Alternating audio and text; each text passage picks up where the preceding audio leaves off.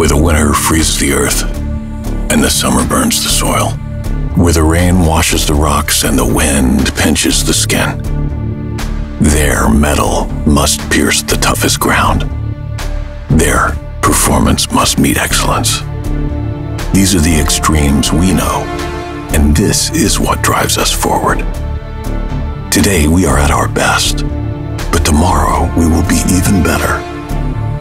Because we challenge ourselves every day to win the battles and meet that excellence.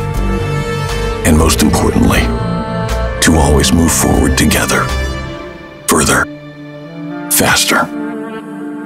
This is the Robit way forward.